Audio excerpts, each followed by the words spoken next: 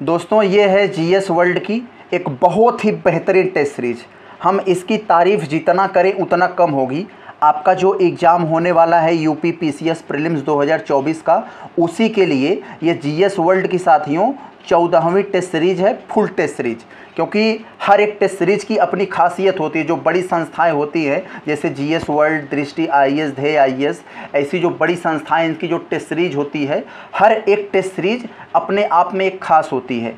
तो मैं चौदहवीं टेस्ट सीरीज़ इसलिए लेकर आया हूँ, साथियों, ये जो चौदहवीं टेस्ट सीरीज़ है, इसमें खास बात ये है कि इसमें जितने भी प्रश्न हैं, सब के सब नए प्रश्न हैं। नए प्रश्न जो भी पुराने एग्ज़ाम हुए हैं अब तक, उनको बेस को देखते हुए नए प्रश्न बनाया गया है, जिनकी आने की संभावना अधिक से अधिक है। और वो नए प्रश्न साथियों इस आधार पर हैं कि जिसने भी करंट अफेयर्स के जो इंडेक्स हैं सूचकांक, उसको इसमें सम्मिलित किया गया है, इंडेक्स को, और करंट अफेयर के बेस पर आजकल जो जीएस के क्वेश्चन बनते हैं, आप सबको मालूम है जीएस के ज़्यादातर क्वेश्चन करंट के बेस ही पर बनते हैं। जो करंट में जो चीज़ें रहती हैं, उसी के बेस पर बनाया जाता है। तो उसके करंट के बेस पर जो है प्रश्न जो बनाए गए हैं, ये सब है। तो साथियों, बहुत बेहतरीन होगा ये टेस्ट सीरीज़ आपके लिए पूरा का पूरा नया प्रश्न, क्योंकि साथियों, जो प्रीवियस ईयर का क्वेश्चन होता है, उस क्वेश्चन में तो लगभग सभी लोग तैयार किए रहते हैं। वो तो सबका तैयार होता है। अगर वो आएगा तो सब बच्चे उसको करेंगे। लेकिन चैलेंज होता है नए प्रश्नों को कौन ज़्यादा से ज़्यादा सॉल्व कर लेता है, वही सलेक्शन के नज़दीक पहुँचता है। तो साथियों, बहुत बेहतरीन होगी। आप लोग वीडियो को अंत तक देखिएगा। बहुत मेहनत लगती है साथियों बनाने में। इसके पहले हमने एक वीडियो बनाया था, उसमें आवाज़ नहीं आई थी, इसलिए हमें दोबारा बनाना पड़ा साथियों, मेहनत काफ़ी लगती है।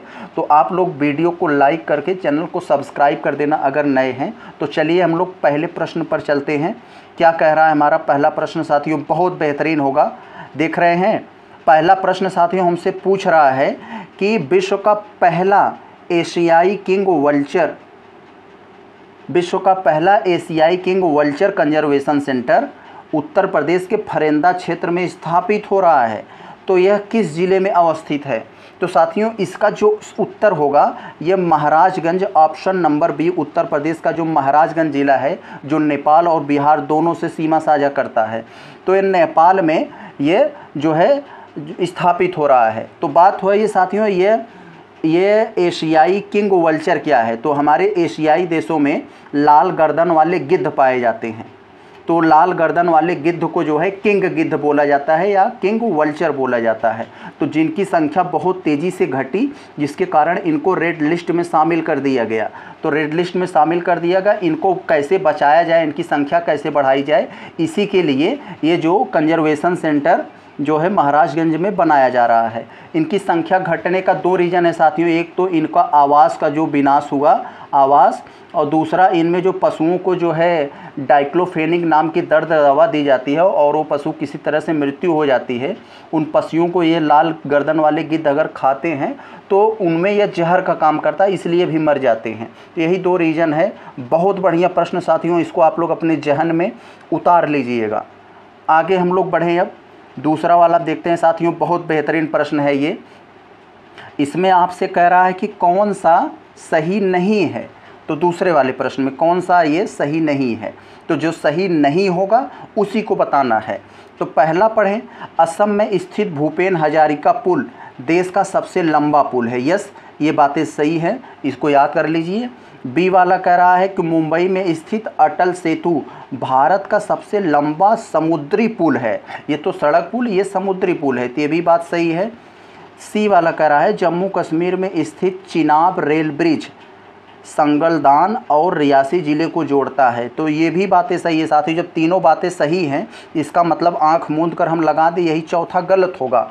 तो चौथा क्यों गलत है, ये हमें बताना है कि चौथा अरुणाचल प्रदेश में स्थित सेला टनल दुनिया की एकल सड़क वाली सुरंग नहीं, बल्कि साथ ही डबल लेन वाली सड़क है। तो डबल लेन वाली सबसे लंबी टनल है। तो ये इसमें एकल सड़क की जगह पर ये डबल लेन वाली सड़क लिखना चाहिए था। तो ये ऑप्शन डी इसलिए हमारा गलत हो गया। आगे हम लोग देखें। तीसरा में साथियों कह रहा है, वैश्विक ऊर्जा संक्रमण, वैश्विक ऊर्जा संक्रमण सूचकांक 2024 में भारत किस स्थान पर है? तो साथियों 2024 में वैश्विक ऊर्जा संक्रमण के मामले में तिरसठवें नंबर पर है। ये 2024 का है और 2023 का ये जो डाटा है यहाँ लोग कन्फ्यूज़ होंगे। ये सड़सठवें स्थान पर था 2023 में। आगे हम लोग बढ़ें। देखें साथियों, देश की प्रवेश परीक्षाओं को फुल प्रूफ बनाने के लिए, यानी पारदर्शी बनाने के लिए, जून 2024 से निम्नलिखित में से किसकी अध्यक्षता में एक उच्च स्तरीय समिति गठित की गई थी। तो साथियों, पूछ रहा है, जो इस समय जब से नीट का पेपर लीक हुआ तो उसको लेकर सरकार जो है बहुत ज़्यादा सेंसिटिव हुई और उसके बाद उन्होंने एक के राधा कृष्णन की अध्यक्षता में एक समिति गठित की कि परीक्षाओं को फुल प्रूफ कैसे बनाया जाए। तो जून 2024 में तो ऑप्शन नंबर सी हो जाएगा के राधा कृष्णन के राधा कृष्णन के बारे में आप लोग को मालूम होगा, ये एक न्यायाधीश भी रह चुके हैं। तो आगे हम लोग देखें। पाँचवा में देखते हैं क्या कह रहा है साथियों। पाँचवा में देखो, बहुत बेहतरीन प्रश्न है ये। कई सारा फैक्ट इसमें आपको सीखेंगे।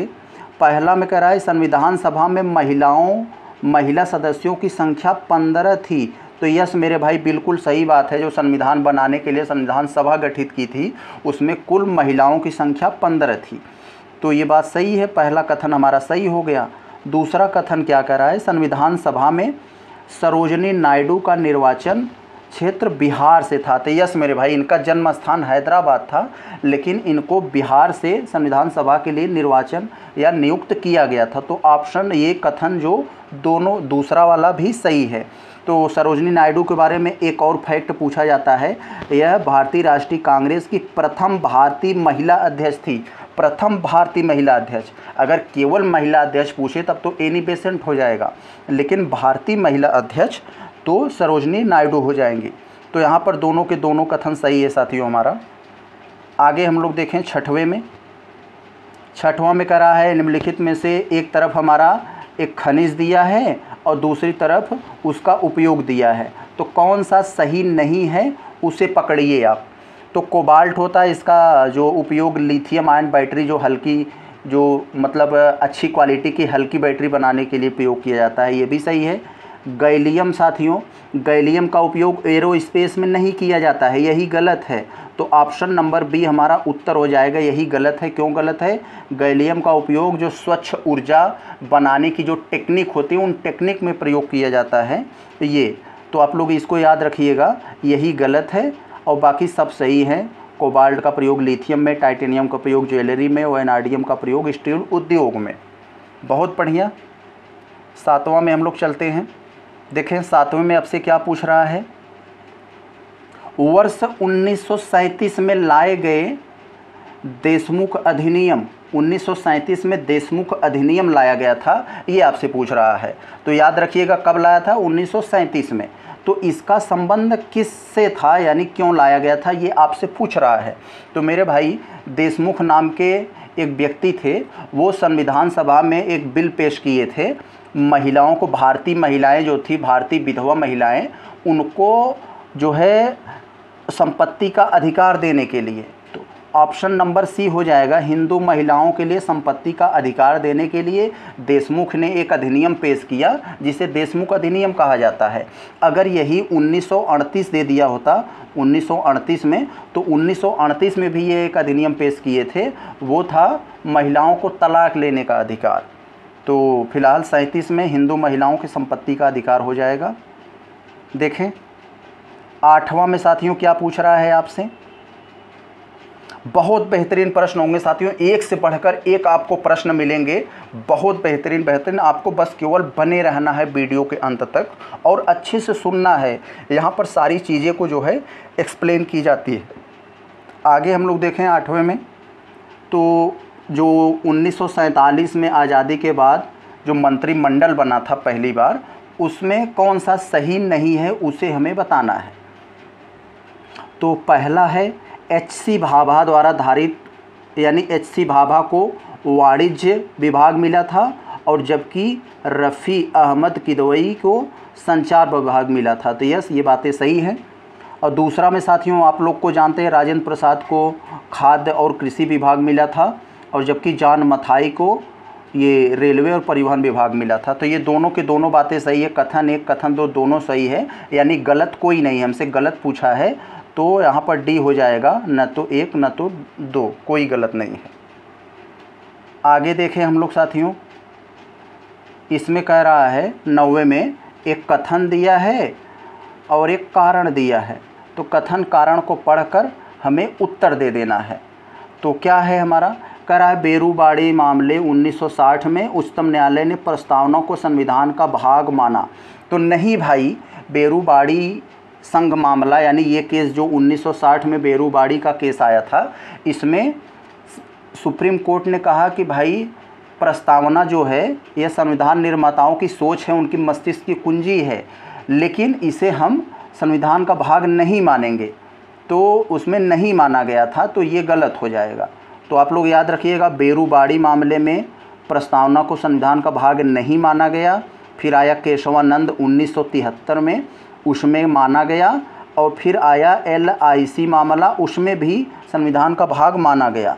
तो यहाँ पर एल आई ऑफ़ इंडिया मामले में उच्चतम न्यायालय ने प्रस्तावना को संविधान का आंतरिक हिस्सा माना। तो ये बात सही है, यानी ए गलत है आर सही है। तो ऑप्शन नंबर सी हमारा सत्य हो जाएगा। बहुत बढ़िया। आगे देखें हम लोग दसवें में। दसवां में आप लोग को मालूम होगा कितना बेहतरीन प्रश्न है ये। कह रहा है कि भारत में लौटते मानसून लौटते मानसून यानी रिट्रेट रिट्रेट मतलब लौटना तो लौटते मानसून का मौसम किस समय होता है? तो आप लोगों को मालूम है, भारत में अक्टूबर से नवंबर के समय ये मौसम लौट जाता है बरसात करके तो ऑप्शन नंबर सी होगा हमारा।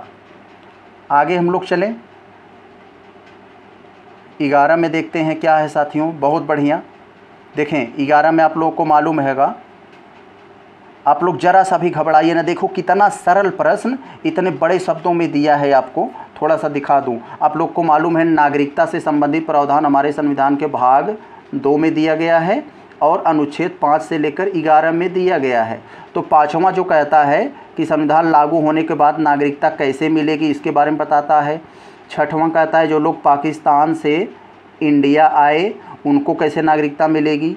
सातवां कहता है कि, जो लोग इंडिया से पाकिस्तान गए और फिर पाकिस्तान से यहाँ चले आए इंडिया में तो उनको कैसे नागरिकता मिलेगी, ये बताता है। और आठवां में आप लोग को मालूम है, आठवां में ये बताता है कि जो भारतीय मूल के व्यक्ति हैं, यानी ऐसा व्यक्ति जो विदेश का नागरिक है, लेकिन उसके दादा, दादी, नाना, नानी माता पिता में से कोई कभी भारत का जो है नागरिक रहा हो तो उसे भारतीय मूल का व्यक्ति कहा जाता है। तो आठवां, भारतीय मूल के व्यक्ति को नागरिकता कैसे मिलेगी उसके संबंध में है? नौवां क्या है कि कोई व्यक्ति एकल नागरिकता से संबंधित प्रावधान है? यानी आप भारत के नागरिक हैं तो आप स्वेच्छा से किसी दूसरे देश के नागरिक ले लेंगे, नागरिकता ले लेंगे तो आपकी नागरिकता अपने आप समाप्त हो जाएगी। तो ये तीसरा से संबंधित है, ये भी सही है। यहाँ। और दसवां में ये कहा गया है कि नागरिकता जो है बनी रहेगी, वो समाप्त नहीं की जाएगी कृषि की, जो जिसको नागरिकता मिली है, बेवजह। ये हो जाएगा। और ग्यारहवा में कहा गया है कि नागरिकता से संबंधित कानून बनाने का अधिकार सिर्फ़ संसद को है। तो इसका मतलब अब हम देख लें, एक, तीन, सी वाला, तीन और चार तो सीधे सीधे हैं। एक, ए और बी उल्टे हैं। तो ऑप्शन में हम लोग मिला लें। हमारा कौन सा ऑप्शन यहाँ बन रहा है साथियों? सी वाला बन रहा है। ऑप्शन नंबर ये। तो बहुत बढ़िया। आगे चले हम लोग देखते हैं बारहवें में क्या है। भारत की सबसे लंबी नदी गंगा नदी किस राज्य से होकर बहती है? तो साथियों, आपको हम बता दें, इसी तरह से एक यूपी से संबंधित प्रश्न पूछा जाता है यूपी स्पेशल में। भारत की जो गंगा नदी है, वह उत्तर प्रदेश के बिजनौर ज़िले में प्रवेश करती है और बलिया में निकल जाती है बिहार को। तो बीबी बिजनौर में आती है और बलिया से चली जाती है। तो ये तो ये हुआ। लेकिन ये पूछ रहा है, भारत की सबसे लंबी नदी गंगा निम्नलिखित में से किस राज्य से होकर बहती है? तो आपको मालूम होगा साथियों, गंगा नदी उत्तराखंड से निकलती हैं। उत्तराखंड, यूपी, बिहार, झारखंड, पश्चिम बंगाल होते हुए बढ़ती है। पंजाब, हरियाणा है, ये तो कतई नहीं, काट दीजिए। हिमाचल है, ये भी काट दीजिए। इसमें भी असम उसम दे दिया भी काट दीजिए। तो option number B, UP, Bihar, Jharkhand, Paschim Bangal, Uttarakhand. ये हो जाएगा उत्तर आपका। चीज़ों को मैं अच्छे से एक्सप्लेन करता हूँ साथियों, क्योंकि मैं चाहूँ तो ऑप्शन बता के फट से निकल सकता हूँ। लेकिन वो आपको साथ नाइंसाफ़ी होगा, क्योंकि आप हमें समय दिए हैं तो हमारा भी कर्तव्य, दायित्व तो बनता आपको हम कुछ अलग दें, कुछ बेहतर दें। तो देखें हम लोग तेरहवा में संविधान के अनुसार निम्नलिखित में से कौन सा सही है? तो कौन सा सही है ये पूछ रहा है। तो साथियों, अंतर्राज्यीय व्यापार और वाणिज्य राज्य सूची के अधीन एक विषय है।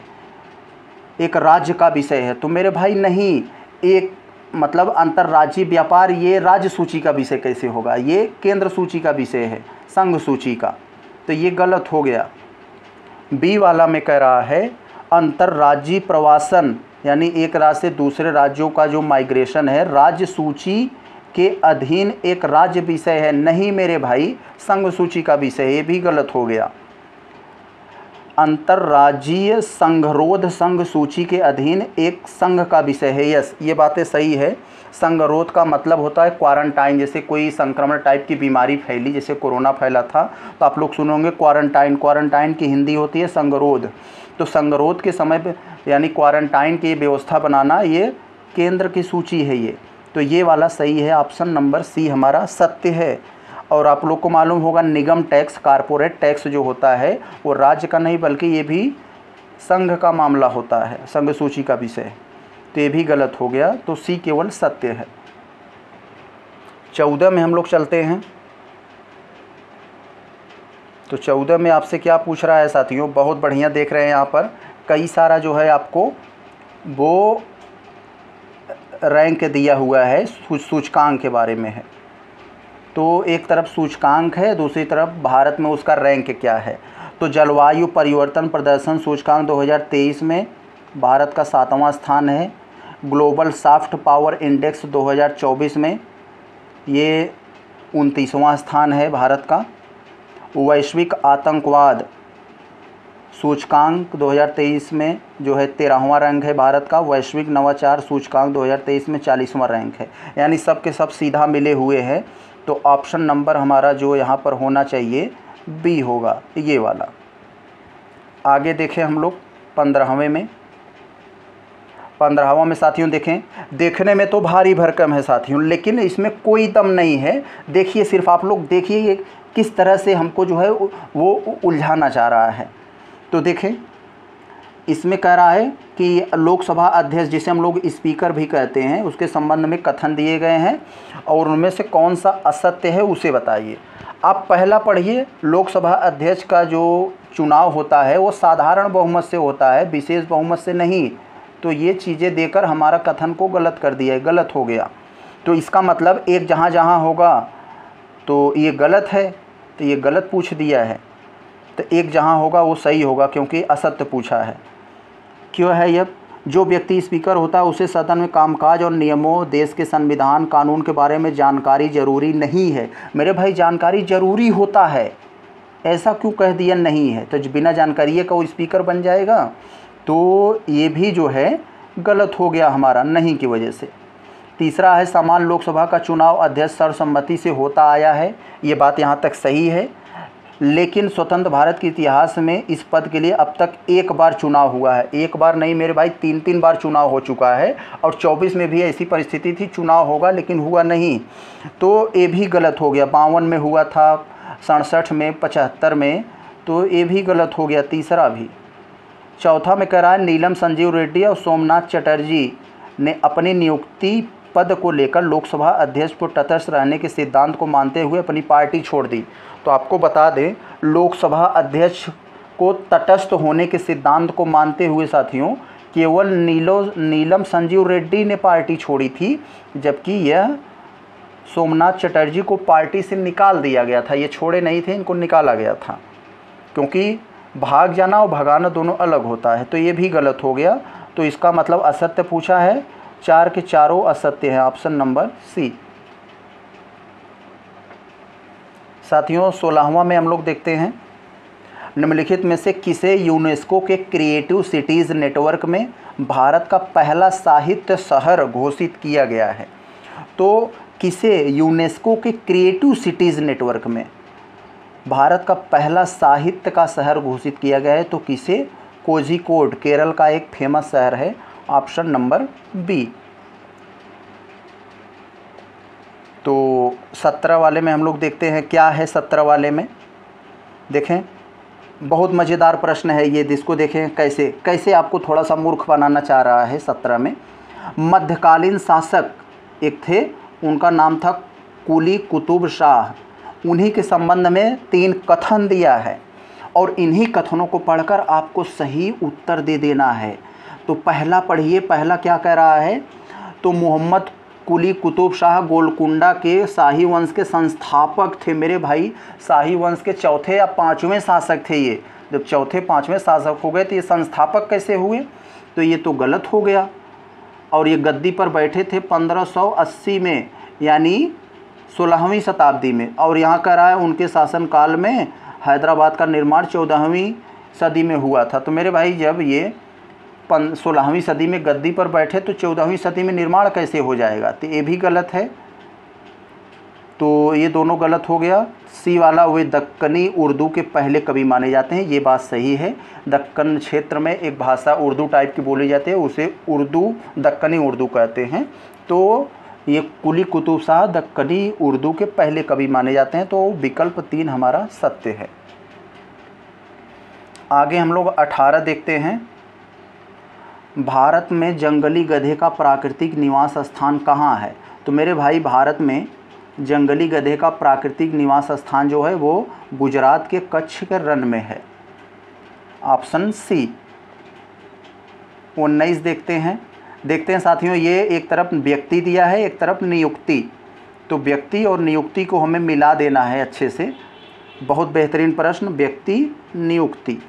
व्यक्ति हमें दिया है जो सबसे अच्छे से मालूम है, पहले वही मिलाते हैं, हमें मालूम है राजीव कुमार। ये भारत के मुख्य निर्वाचन आयुक्त हैं। मालूम है आपको?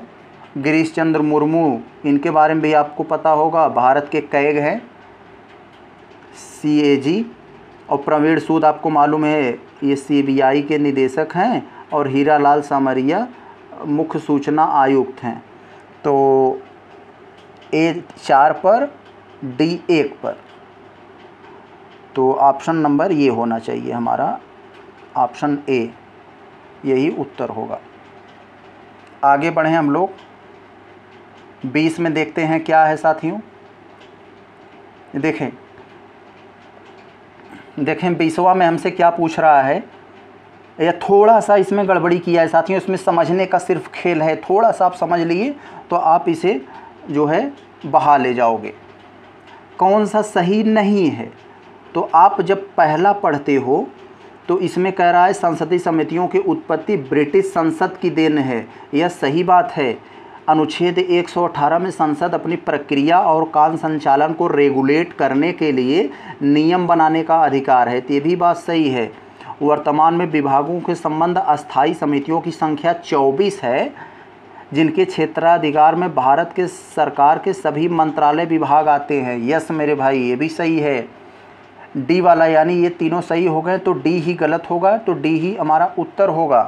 क्योंकि साथियों, कह रहा है, कार्य मंत्रणा समिति का कार्य यह सिफारिश करना है कि सरकार द्वारा लाए जाने वाले विधायी तथा अन्य कार्यों को निपटाने के लिए कितना समय नियत किया जाए। तो ये सब जो प्रक्रिया है, साथियों, ये कार्य मंत्रणा समिति का नहीं है यह नियम समिति का होता है। तो नियम समिति का होता है और ये कार्य मंत्रणा समिति यह एक सदन से संबंधित होती है। आगे बढ़े हम लोग। इक्कीसवां देखते हैं। हाल ही में विश्व टेबल टेनिस कंटेडर एकल खिताब जीतने वाली पहली भारतीय टेबल टेनिस खिलाड़ी बन गई हैं। तो कौन सी ऐसी महिला है जो विश्व टेबल टेनिस कंटेडर में एकल खिताब जीतने वाली भारत की पहली टेबल टेनिस महिला बनी है? तो साथियों, हैदराबाद की Sreeja Akula, option number B. तो देखें, बाईस में क्या है? स्वयं और समाज के लिए योग, यह एक थीम है। ये किसकी थीम है? राष्ट्रीय योग ओलंपियाड 2024 में जो मनाया गया। कहाँ मनाया गया? कर्नाटक के मैसूर में। इसका उद्घाटन कौन किया? कर्नाटक के राज्यपाल। तो ऑप्शन नंबर बी हो जाएगा। तेईस में क्या है? देखें साथियों, तेईस में भी बहुत बढ़िया प्रश्न है।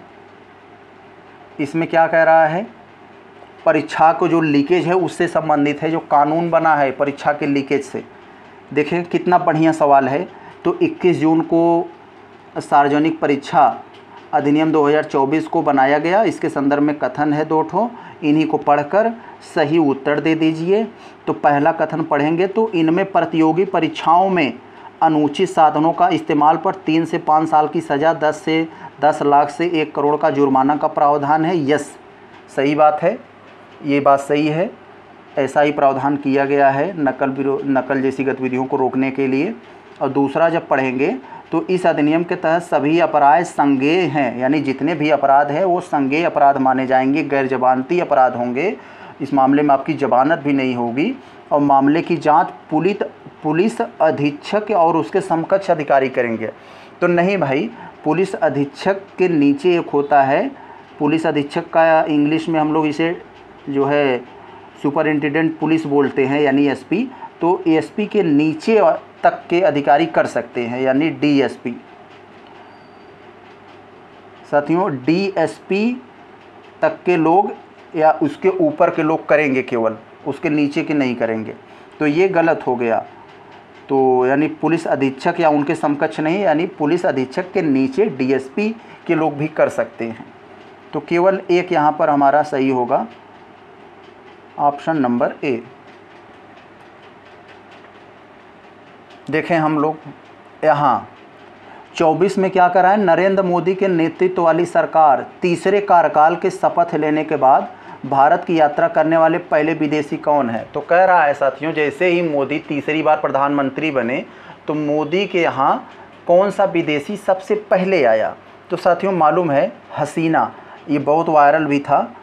जैसे ही मोदी तीसरी बार प्रधानमंत्री बने तो उनसे मिलने हसीना आ गई। तो हसीना कौन है? शेख हसीना, बांग्लादेश की प्रधानमंत्री, ऑप्शन नंबर सी। पच्चीस क्या है साथियों यहाँ पर? देखें, बहुत बढ़िया प्रश्न साथियों। क्या इसमें पूछ रहा है? एक वधावन बंदरगाह जो है, महाराष्ट्र में बन रहा है। तो वही उसी के बारे में है, वधावन बंदरगाह बन रहा है। पीएम गति शक्ति कार्यक्रम के तहत और यह ग्रीनफील्ड परियोजना के रूप में होगा। तो ये बातें सही हैं, ग्रीनफील्ड परियोजना का मतलब है कोई ऐसा प्रोजेक्ट शुरू किया जा रहा है जो ज़ीरो से शुरू किया जा रहा है। वो नंगी ज़मीन पर उसे ज़ीरो से बनाया जा रहा है, उसमें पहले से कुछ नहीं था। तो इसकी का मतलब होता है ग्रीनफील्ड परियोजना। तो जैसे हमारा खेत है, उसमें कुछ है नहीं, वहाँ पर हम जो है एयरपोर्ट एयरपोर्ट बनाने लगे। तो वहाँ पर क्या हो, उसे ग्रीनफील्ड परियोजना बोला जाएगा। तो ये हो गया। दूसरा कह रहा है, परियोजना पीपीपी मॉडल पर बनी है, यानी सार्वजनिक निजी भागीदारी, पब्लिक प्राइवेट पार्टनरशिप मोड में बनाई गई है। मोदी काल में सारी, बहुत सारी जो है, जो काम हुए, इसी मॉडल पर हुए हैं। वधावन बंदरगाह हर मौसम में काम करने के लिए भारत का सबसे बड़ा डीप ड्राफ्ट बंदरगाह होगा। डीप ड्राफ्ट का मतलब ये होता है साथियों, ये ऐसा बंदरगाह है जो बड़े से बड़े जहाज़ों को भी वहन कर लेगा। तो इसका मतलब यहाँ पर सभी के सभी कथन सही है। डी हमारा उत्तर होगा। 26 में क्या है साथियों? 26 में कह रहा है, संयुक्त राष्ट्र महासभा निम्नलिखित में से किस देशों के समूह को संयुक्त राष्ट्र सुरक्षा परिषद के नए अस्थाई सदस्य के रूप में 1 जनवरी 2025 से शुरू होने वाले दो साल कार्यकाल के लिए, दो साल के कार्यकाल के लिए चुना है। तो आप लोगों को मालूम होगा साथियों, संयुक्त राष्ट्र का एक महत्वपूर्ण अंग है, संयुक्त राष्ट्र सुरक्षा परिषद। तो उसमें पंद्रह सदस्य होते हैं, पाँच उसमें से अस्थाई हैं, फिक्स होते हैं। फिक्स कौन है? आप लोग को मालूम है चाइना, अमेरिका, रूस, फ्रांस और यूनाइटेड किंगडम। और दस अस्थाई होते हैं जो समय समय पर किए जाते हैं दो दो साल पर। तो यहाँ इस बार जो है पच्चीस, एक जनवरी 2025 से नियुक्ति है वो पाकिस्तान, सोमालिया, पनामा, डेनमार्क और ग्रीस, ये पाँचों को एक जनवरी 2025 से दो साल के लिए नियुक्त किया जा रहा है। आगे देखें हम लोग सत्ताईस में। विश्व सिकल सेल दिवस 2024 की थीम क्या है? तो विश्व सिकल सेल 2024 की थीम पूछ रहा है साथियों हमसे। तो आप लोग को मालूम होगा, विश्व सिकल सेल दिवस जो होता है वो 19 जून को मनाया जाता है। तो किस थीम के साथ मनाया गया? तो प्रगति के माध्यम से नहीं हाँ यही है। प्रगति के माध्यम से आशा। ऑप्शन नंबर बी, यही हमारा उत्तर होगा। और आपको मालूम होगा सिकल सेल क्या होता है। तो सिकल सेल साथियों एक तरह का अनुवांशिक रोग है, यानी यह माता पिता से बच्चों में फैलता है। एक कैसा रोग है, हम लोगों को मालूम होगा। हम लोग का जो आरबीसी है ब्लड में रेड ब्लड सेल्स होती हैं। आरबीसी जो रेड ब्लड सेल्स होती हैं हमारे ब्लड में तो ये गोलाकार होती है गोला गोला होती हैं। तो यही जो है, हंसिया की तरह हो जाती है जब तो इसी को हम लोग शिकल बोलते हैं। शिकल का मतलब ही हंसिया होता है। तो जब यह गोलाकार आर बी सी हंसियाकार आर बी सी में बदलने लगती हैं तो ये हमारे ऑक्सीजन को वहन नहीं कर पाती है। हमारे सेल हमारे टिश्यूज़ को बहुत नुकसान होता है, तमाम तरह की बीमारियाँ होती हैं। तो इसी वजह से यह सिकल सेल जो है, बीमारी होती है। तो आज चले, हम लोग आगे देखें अट्ठाईस में। साथियों, बहुत एक से बढ़कर एक प्रश्न है। आप लोग को थोड़ा सा बस पेशेंस रखना होगा। कह रहा है कि यूक्रेन में शांति पर शिखर सम्मेलन 15 और 16 जून को कहाँ हुआ? स्विट्ज़रलैंड में हुआ। और स्विट्ज़रलैंड के किस शहर में हुआ, ये आपसे पूछ रहा है। तो आप लोग को मालूम होगा, पिछले दो साल से रूस यूक्रेन का युद्ध चल रहा है। यूक्रेन में बहुत अशांति फैली हुई है। तो यूक्रेन में शांति कैसे आए? इसके लिए 15 से 16 जून को स्विट्ज़रलैंड में एक जो है सम्मेलन हुआ। और कह रहा है स्विट्ज़रलैंड के किस जगह पर हुआ? तो बर्गेन स्टॉक एक स्विट्ज़रलैंड का शहर है, वहाँ पर हुआ। तो उनतीस वाले में क्या है? तो देखिए साथियों, उनतीस वाला सवाल बढ़िया है, यहाँ पर बहुत सारी चीज़ें यहाँ आप सीख पाएँगे। कह रहा है कि मातृत्व अवकाश, यानी जो महिलाएँ जो है माँ बनने होती हैं तो उनको आप लोगों को मालूम है, उनके अवकाश दिया जाता है, जो सरकारी या प्राइवेट में भी होती हैं। तो उनको अवकाश दिया जाता है एक सौ अस्सी दिन यानी छः महीने का। तो उसी के संबंध में ये सवाल है यह अधिनियम सार्वजनिक और निजी क्षेत्रों को कवर करते हुए 10 या अधिक कर्मचारी वाले प्रत्येक प्रतिष्ठान पर लागू होता है। तो यानी जो छुट्टी मिलती है, ऐसी जो है, जो माँ बनने वाली महिलाएँ होती हैं तो यह सभी संस्थाओं पर लागू हैं जो 10 से अधिक कर्मचारी जहाँ काम करते हैं चाहे वो प्राइवेट हो, चाहे सरकारी हो, उन सभी पर लागू होगा तो ये सही है। मातृत्व लाभ संशोधन अधिनियम 2017 में 26 सप्ताह 26 सप्ताह का मतलब साथियों छः महीना का अधिकार दिया जाता है, ये भी सही है। सेरोगेसी मामले में सेरोगेट माँ तो आप लोग को सेरोगेसी का नाम सुना होगा आप लोगों ने, सेरोगेट माँ ऐसी माँ होती है, जो मतलब पैदा नहीं कर, ऐसे जोड़े जो अपने बच्चा पैदा नहीं कर पा रहे हैं, उनको बच्चा पैदा, उनको बच्चा, उनका बच्चा जो है, अपने कोख में पालती है। यानी कि ऐसी माँ जो अपने कोख को किराए पर देती है दूसरे का बच्चा पालने के, पैदा करने के लिए, उसे सेरोगेट माँ बोलते हैं। और कमीशनिंग माँ क्या होती है? जो अपना बच्चा मतलब पैदा करने के लिए दूसरे को कोख को हायर करती है। तो ये हो गया कमीशनिंग माँ। तो दोनों तरह को जो है ये अगर सरकारी कर्मचारी हैं तो दोनों को 180 दिन का छुट्टी मिलेगा। तो तीन भी हो गया। हमारा यहाँ पर अब विकल्प ये तीनों सही हैं। आगे देखें हम लोग तीस में। तीस में साथियों कह रहा है, अप्रैल 2024 में कहाँ संशोधनकर्ताओं ने बावन सौ साल, यानी पाँच हज़ार साल पुरानी हड़प्पा बस्ती की खोज की है।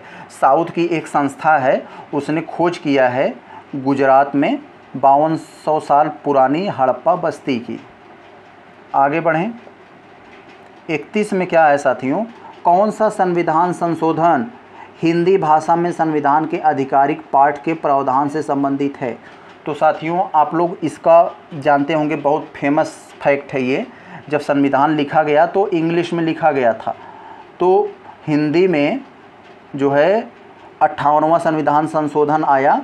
कि संविधान को एक प्रमाणित तरीके से हिंदी में भी लिखा जाए। उसके लिए आया था साथियों, बहुत बेहतरीन प्रश्न है, ये कई सारे एग्ज़ाम पूछा गया था। तो उन्नीस सौ सतासी में, उन्नीस सौ सत्तासी में आया था ये। अट्ठावनवा संविधान संशोधन, ऑप्शन नंबर ए, इसी से संबंधित था। बत्तीस में कह रहा है कि लॉर्ड कर्जन द्वारा बंगाल विभाजन हुआ। तो सबको मालूम है, लॉर्ड कर्जन 1905 में बंगाल का विभाजन किया हिंदू मुस्लिम की आग को बढ़ावा देने के लिए। तो उस समय लोग विरोध कर रहे थे।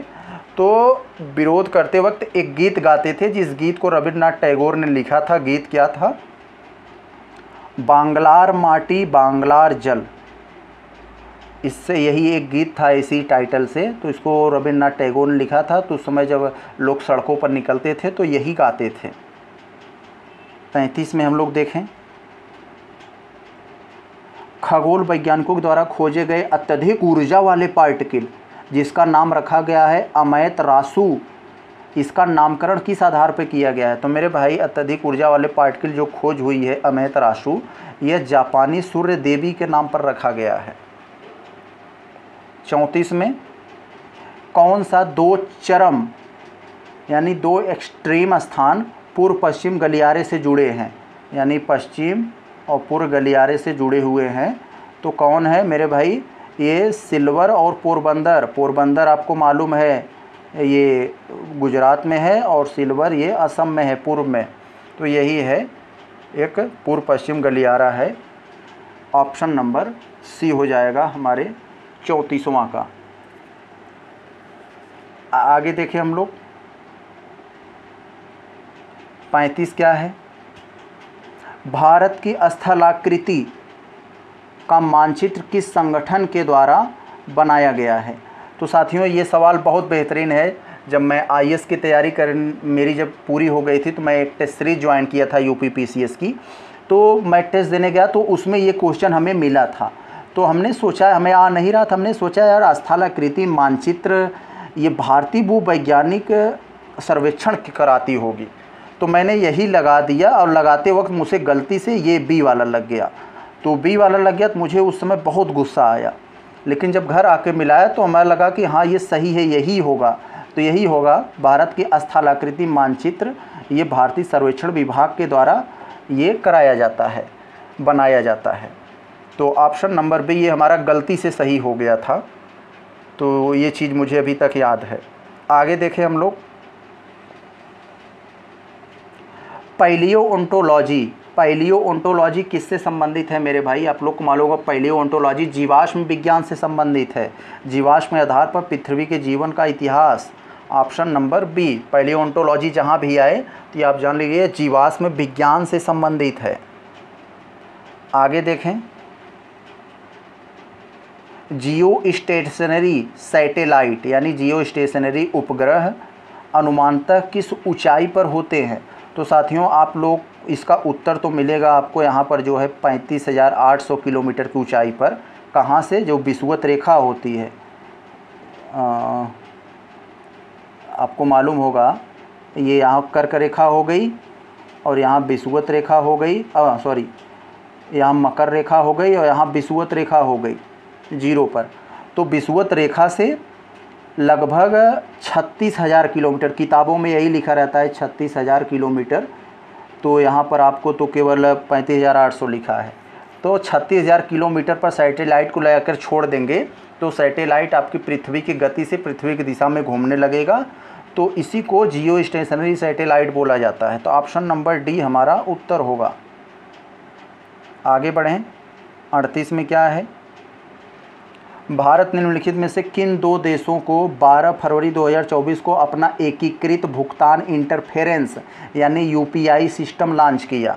तो साथियों, भारत ने अभी फरवरी 2024 में श्रीलंका और माल, मॉरिशस को अपना यूपीआई सिस्टम लॉन्च किया है यहाँ पर। ये याद रखिएगा, बहुत बढ़िया प्रश्न है। इसके पूछे जाने की संभावना अधिक से अधिक है। थर्टी नाइन में हाल ही में खबरों में रहे जूलियन अंसाजे हैं। तो मेरे भाई, जूलियन अंसाजे एक वेबसाइट है, विकलिक्स। विकलिक्स नाम की एक वेबसाइट है, उसी के संस्थापक हैं ये विकलिक्स, जो जेल में बंद थे एक सूचना के लेकर इराक और अमेरिका के भी जब जो था, उसमें इनके वेबसाइट पर एक सूचना आई थी तो उसी के जो है सिलसिले में ये बंद थे तो जेल से छूटे, इसीलिए इनका नाम आया था। विकलिक्स के संस्थापक हैं जूलियन अंसाजे चालीस में देख लें। तो चालीस में साथियों कह रहा है, औपनिवेशिक शासनकाल में, यानी ब्रिटिश काल में, मेरा दुर्गोत्सव, क्या? मेरा दुर्गोत्सव नाम का आलेख में देश को माँ दुर्गा बताते हुए घर आने का आह्वान किया था किसने? तो मेरे भाई बंकिम चंद चटर्जी ने। ये बंगाली हैं। बंगाल में आप लोगों मालूम है दुर्गा पूजा फ़ेमस बहुत है। तो वहाँ पर दुर्गा माँ को मेरी दुर्ग, मेरा दुर्गोत्सव नामक आलेख में ये माँ दुर्गा को घर आने का आह्वान किए थे। मतलब इसे एक धार्मिक प्रयोजन था। तो बंकिम चंद चटर्जी बंकिम चंद चटर्जी के बहुत सारे लेख प्रचलित है। दुर्गेश नंदनी, बंग दर्शन और इनका जो है, एक और है आनंद मठ, देवी चौधरानी। जैसे इनकी बहुत सारी प्रचलित रचनाएँ हैं। आगे चलें हम लोग। इकतालीस में। ये देखिए, क्या है इसमें? प्रतिदीप्त, जिसे फ्लोरोसेंट इंग्लिश में बोला जाता है। फ्लोरसेंट ट्यूब में प्रायः किस पदार्थ का उपयोग किया जाता है? फ्लोरसेंट ट्यूब क्या होता है? पहले ये जान लीजिए। आप लोग पहले के जो शादी विवाह या फ़ंक्शन होते थे, उसमें जो जनरेटर वाले जो रॉड लगाते थे, यानी एलईडी लगाते थे, वो साथियों, एलईडी जो थी, वो गैस से होती थी। आप लोग को मालूम होगा, वो गैस ऐसे भरी रहती थी उसमें। आप लोग देखते होंगे, पहले दो तार सटाकर उनको गर्म किया जाता था फिर हटाया जाता था, इस तरह से जलते थे। और जो सी एफ़ एल होते थे, इन सब में मरकरी का वाष्प और आर्गन भरा जाता था। ऑप्शन नंबर ए होगा। अब तो सारी चीज़ें एलईडी पर हो गई हैं। Light emitting diode. आगे देखें। बयालीस। क्लोरीन की रासायनिक अभिक्रिया के कारण जब वातावरण में CFC यानी क्लोरोफ्लोरोकार्बन निर्मुक्त होते हैं तो यह क्या नष्ट करती है? तो आप लोगों को मालूम है साथियों सीएफसी जो हमारे रेफ्रिजरेटर और वातानुकूलित सिस्टम, इन सबसे जो ज़्यादा निर्मुक्त होती है तो यह ओजोन मॉलिक्यूल को नष्ट करती है। हम लोग को मालूम है, समताप मंडल में ओजोन परतें पाई जाती है, उसमें छेद हो जाता है तो पैरावैग्निक किरण पृथ्वी पर आने लगती हैं, जिससे स्किन कैंसर का खतरा बढ़ जाता है। तो ऑप्शन नंबर बी हो जाएगा। तिरालीस में क्या है?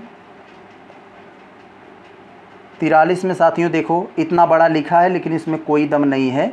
तो कह रहा है, किस आंदोलन के दौरान, किस आंदोलन के दौरान देश में भाईचारा और राष्ट्रीय एकता को प्रदर्शित करने के लिए, दिखाने के लिए आर्य सामाजी नेता स्वामी श्रद्धानंद को दिल्ली के जामा मस्जिद के इमाम पीठ से उपदेश देने के लिए कहा गया, एवं मुस्लिम नेता आप सोच कर देखिए, हिंदू को मुस्लिम हिंदू को मुस्लिम धार्मिक संस्था से उपदेश देने के लिए कहा गया और मुस्लिम नेता सैफुद्दीन किचलू थे। इनको अमृतसर मंदिर की चाबियाँ दे दी गई, यानी इनको हिंदू धर्म में जो है जो है जोड़ दिया गया। तो यानी इसलिए हिंदू मुस्लिम से, मुस्लिम हिंदू से जोड़ा गया, यानी मुस्लिम को हिंदू धार्मिक संस्थाओं से और हिंदू को मुस्लिम धार्मिक संस्थाओं को एक कनेक्ट करने का प्रयास किया गया, इसलिए कि हिंदू मुस्लिम की एकता बढ़े, या किस लिए? खिलाफत आंदोलन जो हुआ था, हिंदू मुस्लिम एकता बढ़ाना, बहुत इसका हुआ था इसमें। तो ऑप्शन नंबर सी किस आंदोलन के दौरान ऐसा हुआ था? ऑप्शन सी में। देखें। दक्षिण अफ्रीका में 1913 में गांधी जी ने किस स्थान से अपने तिरसठ कार्यकर्ताओं को लेकर मार्च यानी यात्रा निकाली थी? तो साथियों, आप लोग को मालूम होगा 1913 में अफ्रीका की जो सुप्रीम कोर्ट थी, उन्होंने उन सभी विवाह यानी शादी को रद्द कर दिया, जो ईसाई पद्धति से नहीं हुए थे। तो सोचो, ईसाई पद्धति से जितनी रीति, ईसाई रीति रिवाज से जितनी शादियाँ नहीं हुई थी, उनको अवैध घोषित कर दिया। इसका मतलब बहुत सारे भारतीयों का भी जो है, शादियाँ अवैध हो गई और तमाम तरह के उन पर टैक्स लगाए गए। तो गांधी जी ने इसको विरोध में 1913 के दिसंबर में जो है, तिरसठ कार्यकर्ताओं को लेकर नटाल से ट्रांसवाल तक जो है, यात्रा निकाली थी। Option A. तो आगे हम लोग देखें 45 में क्या कह रहा है। तो साथियों, इसमें देखें एक तरफ़ सूचकांक है हमारा और दूसरी तरफ़ प्रथम स्थान। तो कौन सा सूचकांक सूचकांक किस देश में प्रथम है, उसको हमें मिला देना है। तो वैश्विक लैंगिक अंतराल सूचकांक तो ये आइसलैंड पे जाएगा, यानी डी वाला तीन पर आएगा। तो डी वाला तीन पर एक ही में है, बीमर, यही हमारा उत्तर हो जाएगा। समय बचाकर हम भाग सकते हैं, लेकिन हम पढ़ नहीं रहे हैं, एग्ज़ाम नहीं दे रहे हैं, आपको पढ़ा रहे हैं तो बताना पड़ेगा हमें। और अंतर्राष्ट्रीय आईपी सूचकांक, ये आ जाएगा दो पर। संयुक्त राज्य अमेरिका 2024 ये प्रथम स्थान पर है। भ्रष्टाचार धारण सूचकांक तो इसमें पहले स्थान पर कौन है? डेनमार्क है। और विश्व प्रेस स्वतंत्रता सूचकांक जानते हैं, नार्वे है। भारत इस साल एक स्थान पर आया। आगे चलें हम लोग अब, देखते हैं क्या है हमारा छियालीस में। भारत में स्वतंत्रता के बाद विकसित पहला बंदरगाह कौन है? तो साथियों, कांडला बंदरगाह, गुजरात का। कांडला बंदरगाह, जो भारत में आज़ादी के बाद विकसित होने वाला पहला बंदरगाह है, ये जो मुंबई का बंदरगाह है, उसके बोझ को कम करने के लिए इसका निर्माण किया गया था। तो छियालीसवें का उत्तर हमारा ऑप्शन नंबर ए हो जाएगा। कब बनाया गया था? उन्नीस सौ पैंसठ में। आगे बढ़ें। इनमें से कौन सी मांग जनित मुद्रास्फीति का कारण है? तो साथियों मांग जनित मुद्रास्फीति का क्या कारण है? तो पहले आपको मुद्रास्फीति समझना पड़ेगा। मुद्रास्फीति क्या होती है? तो मुद्रास्फीति आप लोग को मालूम होगा साथियों मुद्रास्फीति एक तरह की महँगाई होती है। जब वस्तुओं, सेवाओं के दाम तेज़ी से बढ़ने लगते हैं तो उसे हम कहते हैं इन्फ्लेशन या मुद्रास्फीति महँगाई के दौरान हमारे रुपया की वैल्यू घट जाती है। कोई चीज़ हम पाँच रुपये में ख़रीद रहे थे, महँगाई हो गई, दस रुपया में मिल रही है तो इसका मतलब साथियों ये हुआ, इसका मतलब ये हुआ कि हमारा रुपया कमज़ोर पड़ जा रहा है, अब हमें और रुपया लगाना पड़ेगा उसी चीज़ को ख़रीदने के लिए। तो ये होती है इन्फ्लेशन, यानी मुद्रास्फीति और मांग जनित मुद्रास्फीति क्या होती है? मांग जनित मुद्रास्फीति ऐसा होता है साथियों, जब किसी चीज़ का जो है डिमांड बहुत ज़्यादा हो जाए और उसकी सप्लाई न हो पाए। सप्लाई बहुत कम हो जाए, डिमांड बहुत ज़्यादा हो जाए तो वो वस्तुओं के दाम बढ़ने लगते हैं। आपको मालूम होगा, अभी आप कोई दुकान खोलिए, आपका बिके ना तो आप सामान को सस्ता बेचोगे और आपका जो है ज़रूरत से ज़्यादा बिकने लगे, रोज़ जो है बहुत ज़्यादा बिकने लगे तो आप महँगा चीज़ों को करते चले जाओगे। तो यही होता है, जब जो है सरकार की ख़रीद में वृद्धि, जब सरकार चीज़ों को अधिक खरीदेगी तो माल बिकेगा तो मांग ज़्यादा होगा तो भी महँगाई बढ़ेगी, ये भी मांग जनित मुद्रास्फीति है। स्थानीय विनिमय दर में मूल का ह्रास, ये भी है। मौद्रिक प्रोत्साहन देने के लिए अगर बैंक जो है ब्याज दर को घटा देते हैं, सब लोन ले लेंगे और लोन लेकर सब पैसा खर्चा करेंगे, सब सामान खरीदेंगे, सारा सामान को महँगा कर देंगे। तो ये भी है मांग जनित तो मांग जनित मुद्रास्फीति यही नहीं है, डी वाला। ऑप्शन नंबर डी, श्रम लागत में वृद्धि। श्रम लागत में वृद्धि से मांग जनित मुद्रास्फीति नहीं होती है। आगे देखें अड़तालीस में। तो अड़तालीस में साथियों कह रहा है आपसे, कथनों पर विचार करके हमें सत्य उत्तर को बताना है। देखें यह बाँस से संबंधित है तो साथियों केंद्र प्रायोजित योजना के रूप में पुनर्गठित राष्ट्रीय बाँस मिशन, जो 2018-19 में शुरू किया गया था, यस, सही है। वर्तमान में यह सभी राज्यों और केंद्र शासित प्रदेशों में जारी है। नहीं भाई, बाँस उगाया जाएगा एक स्पेसिफिक क्षेत्र में उगाया जाता है, जहाँ इसके अनुकूल परिस्थितियाँ होती हैं। तो सभी राज्यों में नहीं, या कुछ ही राज्यों में है तो ये गलत हो गया दूसरा। तो एनबीएम में सिर्फ़ बाँस के उत्पादों को बढ़ावा दिया जाता है। बाँस के साथ साथ साथियों, इसमें चारकोल वगैरह के प्रोडक्ट भी और इसको बढ़ावा दिया जाता है। सिर्फ़ बाँस के नहीं तो ये गलत हो गया। और आपको मालूम है, बाँस को गैर वन क्षेत्र में जो है, वृक्ष की श्रेणी से हटा दिया गया। पहले बाँस को जो है जो है गैर वन माना जाता था। इसको वृक्ष नहीं समझा जाता था। तो जो है, अब इसे वन क्षेत्र माना जाने लगा। तो ऑप्शन चार सही है। तो हमारा केवल एक और चार सही होगा ऑप्शन नंबर ए यानी अब बाँस को भी वन क्षेत्र माना जाने लगा। उनचास में देख लें। तो उनचास में साथियों, ये पूछ रहा है हमसे, राष्ट्रीय वन रोपण कार्यक्रम, यानी एनएपी को खराब वन भूमि के नवीकरणी के लिए कार्यान्वित किया जा रहा है, यस, ये सही है। यह योजना मांग आधारित है, वनीकरण के पिछले प्रदर्शन की परिस्थितियाँ बहाली के लिए उपलब्ध संभावित छीण वन भूमि और बजट की उपलब्धता के आधार पर मंजूरी दी गई, ये भी सही है। एनपीए एक केंद्र प्रायोजित योजना है, एनएपी एक केंद्र प्रायोजित योजना यानी केंद्र का है, और जिसमें राज्यों के भी 40 परसेंट हिस्सेदारी है तो ये सही है। तो तीन के तीनों यहाँ पर सही है, ऑप्शन डी हमारा उत्तर होगा। पचास देखते हैं। पचास में साथियों, संविधान में इकहत्तरवां संविधान संशोधन अधिनियम उन्नीस सौ बानवे में आया था। निम्नलिखित में से किस भाषा को शामिल करने के लिए संविधान की आठवीं सूची में संशोधन किया गया था? तो आपको मालूम होना चाहिए, संविधान की आठवीं अनुसूची में जो है वो भाषाएँ रखी गई हैं जिनको मान्यता प्राप्त है। तो जब सन, ये बनाई गई थी संविधान में, मूल संविधान में तो इसमें केवल चौदह भाषाएँ थी। लेकिन सिर्फ़ संशोधन करके जोड़ जाड़ के इस समय बाईस भाषाओं को रख दिया गया है आठवीं सूची में।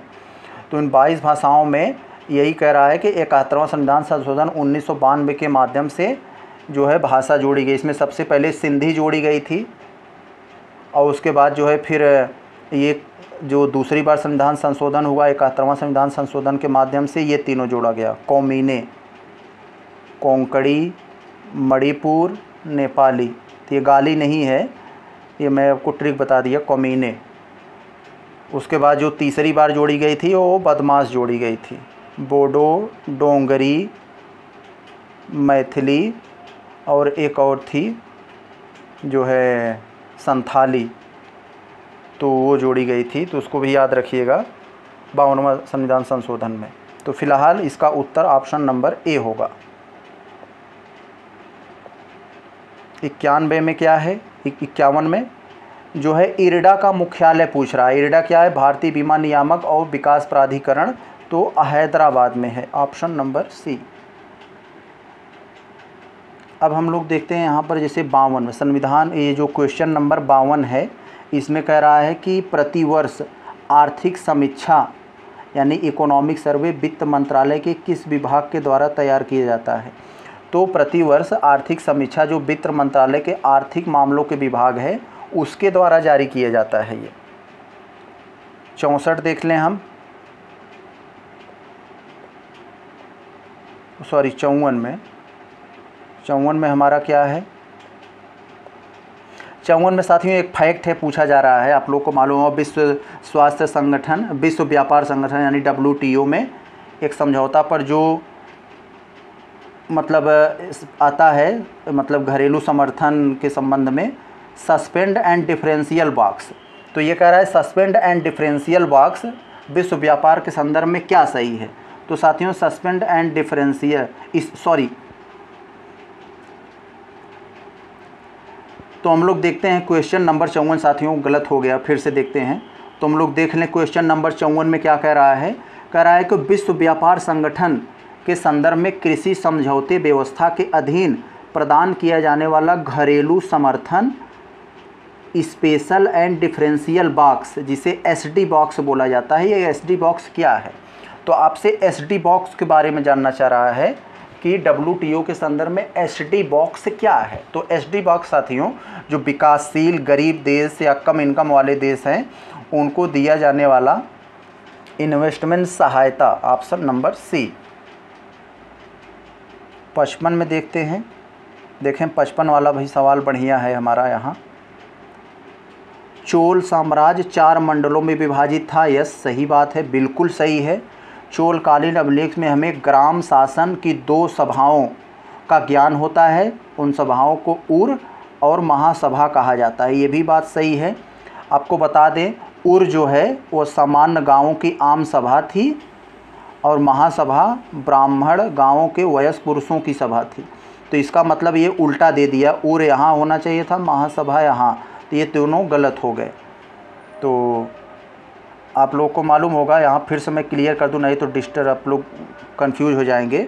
यानी ये उर, महासभा, ये दूसरे के एक दूसरे को उल्टे दे दिए। इसको यहाँ रहना चाहिए था और इनको यहाँ तब कथन सही रहता, इसलिए गलत हो गए दोनों। तो एक दो केवल हमारा सही होगा। एक दो कहाँ है? ऑप्शन डी में है। छाछठ में क्या है? तो छाछठ में कथन है, कारण है, इसे पढ़कर सही उत्तर देना है। सोलहवीं शताब्दी के आरंभ तक भक्ति आंदोलन अपने जनप्रिय रूप में हिंदू समाज के सभी हिस्सों में स्वीकृत हो गया। तो यस, ये बात सही है। कथन सही है। कारण क्यों स्वीकृत हो गया? क्योंकि अनेक विचारकों ने इसे अपना लिया था। तो यह सही बात है, यानी ए और ओ आर दोनों सही हैं और आर ए का स्पष्टीकरण भी कर रहा है। तो हमारा छप्पन हो गया, सत्तावन में देखते हैं हम क्या दिखा है। ये कह रहा है, एक फैक्ट है, शाहनामा के रचनाकार, शाहनामा के रचनाकार और प्रसिद्ध ईरानी लेखक, जिनका नाम है फिरदौसी, ग्यारहवीं शताब्दी के हैं ये, किस दरबारी कवि थे? तो ये महमूद गजनवी के दरबारी कवि थे फिरदौसी, जो ईरानी कवि है और शाहनामा के रचनाकार भी हैं। अट्ठावन में कथन ए दिया है और कारण आर, एक कथन और कारण दिया है, पढ़कर उत्तर देना है। सल्तनत कालीन राज्य की प्रकृति, औपचारिक अर्थ में इस्लामी था। तो यस मेरे भाई, इस्लामी ही था, इसमें कोई दो राय नहीं है सल्तनत कालीन अब उलेमा एक तरह की धार्मिक संस्था थी, जो राज्य की नीतियों में दखल देने का अधिकार प्राप्त था। जैसे अभी आरएसएस है, वो भाजपा के नीतियों में काफ़ी इंटरफेरेंस करती है, उसी तरह से ये उलेमा सल्तनत कालीन में वहाँ पर इंटरफेरेंस करती थी नीतियों में। तो ये दोनों के दोनों कथन सही हैं तो ऑप्शन ए हमारा सत्य हो जाएगा। तो उनसठ में देखते हैं, जो मोदी सरकार की अभी नई सरकार बनी है तो 19 जून 2024 को कैबिनेट ने महत्वपूर्ण फैसला लेते हुए खरीफ मौसमी फ़सल को कुल चौदह फ़सलों पर जो है एमएसपी बढ़ाया है। तो ऑप्शन नंबर डी होगा, कराए कितने फ़सलों पर? चौदह फ़सलों पर। अब ये खरीफ फ़सल क्या होती है? जो इस समय बोई जा रही है, जून में। जो जून जुलाई में बोई जाती है और रबी की फ़सल क्या होती है? जो नवंबर दिसंबर में बोई जाती है। तो याद रखिएगा। अब देखें हम लोग साठवें में क्या है? कौन सा उत्तर वैदिक जनपद अपने दार्शनिक राजाओं और ब्राह्मण धर्मशास्त्रियों के लिए विशेष रूप से प्रसिद्ध था? तो मेरे भाई पांचाल, जो इस समय बरेली फरुखाबाद वगैरह में उस समय इसका क्षेत्र था। आगे देखें। इकसठ में क्या है? तो साथियों, इकसठ में लिखा है हमारा। इकसठ वाले प्रश्न में हमसे क्या पूछा जा रहा है? फैक्ट है कई मामलों में। एन के डाटा को लेकर। तो एनसीआरबी आप लोग जानते हैं। एनसीआरबी क्या होती है? नेशनल क्राइम रिपोर्ट ब्यूरो तो ये होती है नेशनल क्राइम के संबंध में। नेशनल क्राइम की रिपोर्ट जो होती है, एक साल बाद जैसे 2000 ये 23 का दिया है तो 2022 का डाटा होगा 2023 वाले में। अभी 2024 में जो आएगा, वो 2023 का डाटा को दिखाएगा कि कितना क्राइम कहाँ कैसे हुआ। तो आत्महत्या की दर के मामले में सिक्किम, अंडमान, निकोबार, पदुचेरी शीर्ष तीन हैं। तो यस मेरे भाई, यही तीन वाले ये तीन जो है, ऐसे क्षेत्र हैं, ऐसी जगह हैं, ऐसे मतलब स्थान हैं, जहाँ पर आत्महत्या बहुत ज़्यादा टॉप पर है। तो इकसठवां हमारा, इकसठ का हमारा उत्तर ए हो जाएगा। ए तो सही है हमारा। तो और हम आगे चलें, देखते हैं क्या है। बाईस में महिलाओं के खिलाफ अपराध के कुल मामले इक्कीस तुलना में कम हुए। नहीं, मेरे भाई, जो इक्कीस में अपराध हुए थे, बाईस में उसका चार परसेंट और बढ़ गया। तो याद रखिएगा, कब नहीं हुआ, बढ़ा था तो केवल एक हमारा सही होगा। तो लेकिन गलत पूछा है तो गलत केवल बी होगा यहाँ पर। असत्य पूछा है ना तो असत्य बी होगा। बासठ देख लें देखें, बासठ वाले में क्या है कि समुद्रगुप्त ने भारत की, भारत में विक्रम संवोत की शुरुआत की थी। तो मेरे भाई, ये सरासर गलत है। समुद्रगुप्त नहीं। आपको मालूम होगा, चंद्रगुप्त द्वितीय को हम लोग विक्रमादित्य कहते हैं। तो विक्रमादित्य ने शकों पर जीत किया था, शकों शक शासकों पर। तो जीतने के बाद अपने नाम के ही मतलब मतलब अपने नाम से ही लिया वो विक्रमादित्य, उसका नाम था ना चंद्रगुप्त द्वितीय का तो उसने विक्रम, विक्रमादित्य से विक्रम संवत की एक शुरुआत किया। तो ऑप्शन ए गलत हो जाएगा। समुद्रगुप्त ने नहीं, बल्कि चंद्रगुप्त द्वितीय यानी विक्रमादित्य ने शुरुआत किया था। दूसरा, चंद्रगुप्त द्वितीय दरबार में कालिदास और अमर सिंह जैसे विद्वानों को शरण दिया था। ये भी बात सही है। चंद्रगुप्त द्वितीय ने विक्रमादित्य की उपाधि धारण की, अभी मैंने बताया, चंद्रगुप्त द्वितीय ही का ही उपाधि टाइटल विक्रमादित्य था तो ये भी सही है।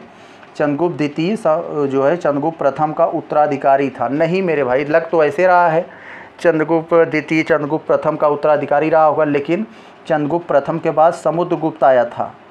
समुद्रगुप्त के बाद जब चंद्रगुप्त द्वितीय आए तो ये गलत हो गया। तो कौन कौन सा सही होगा हमारा? केवल एक, दो। Option number A.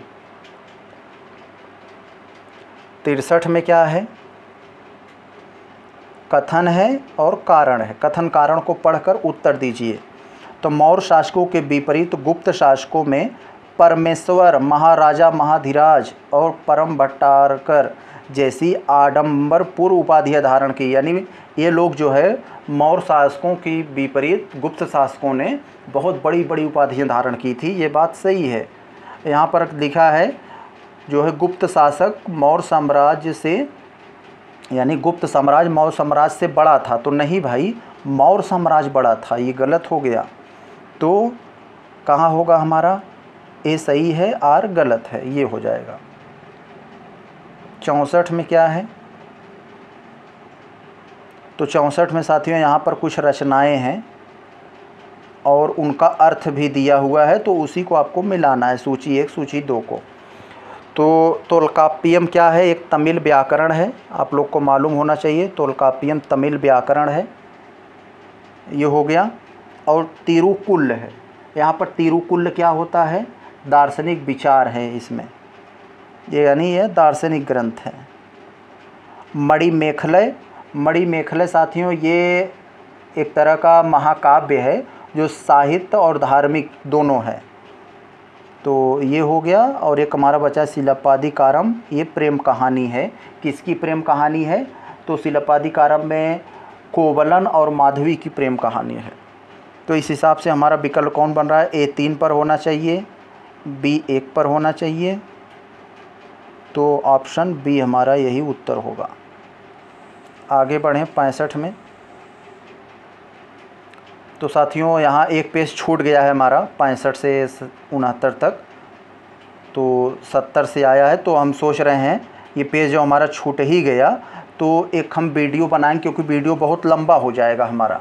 तो हम लोग इस पार्ट वन को यहीं छोड़ते हैं, और वीडियो के हम लोग पार्ट टू में जो है, पार्ट टू में हम लोग ये जो हमारा छूटा है पैंसठ से लेके डेढ़ सौ तक हम लोग उसमें सॉल्व करेंगे बहुत बढ़िया से, क्योंकि वीडियो लंबा होने से हमें अपलोड करने में भी दिक्कत हो जाएगा और आपको देखने में भी। तो मैं सोचा था आधा से ज़्यादा बता दूँगा, लेकिन यहाँ पर पीडीएफ में थोड़ा सा गड़बड़ी हो गई है।